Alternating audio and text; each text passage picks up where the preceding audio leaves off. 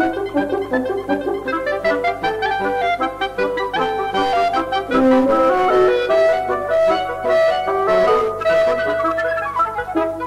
bon dia de primavera, un corp de plomes negres i ronca veu va trobar un formatge daurat com la mel i tan tendre que enamorava. Molt content, el va agafar ben fort amb el bec i va volar fins la branca més alta d'un roure. Així dalt no em veurà ningú i podré matar el cuc tranquil·lament.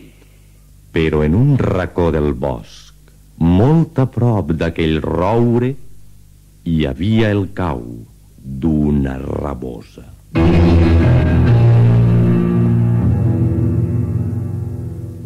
La guilopa, que tenia el nas molt fi, va sentir l'oloreta del formatge. A poc a poc, va traure el cap fora del cau. Va mirar amunt, va mirar avall i de seguida va veure el corp amb el formatge en la boca. Mmm, caram! Quin berenar més bo! Ah, M'agradaria clavar-li la dent, però com ho faré? Mm, ja ho sé. Ara veuràs com enganyaré el bleda del corp.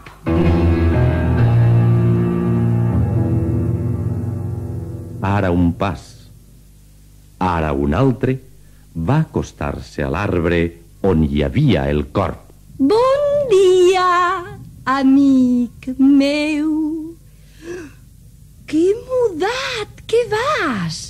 Quin vestit que portes! Quines plomes més lluentes i quins colors tan vius! Mai havia vist un ocell com tu.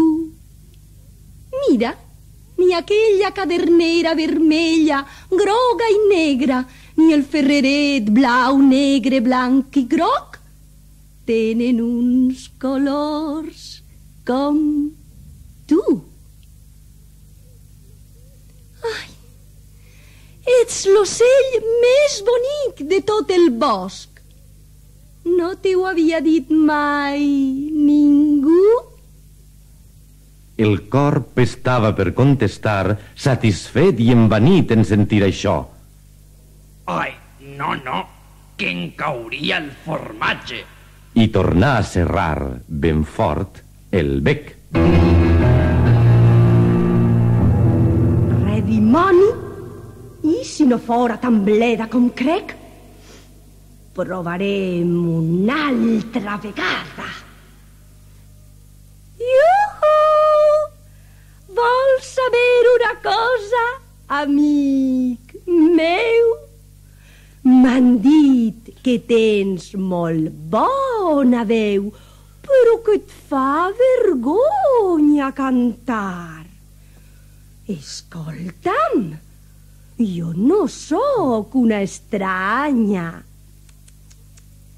Sóc la teua amiga. Per no cantes una miqueta? Mm, M'agradaria sentir-te. De segur que refiles més bé que el rossinyol del cirerer i molt millor que la flauta del pastor. Ai, amics meus, el corp s'oblidà del formatge.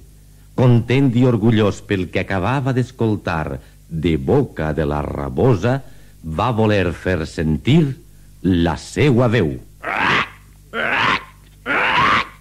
I en obrir el bec li va caure el formatge. I l'astuta rabosa d'un salt te va agafar i va sense dir-li ni adeu, de pressa va fugir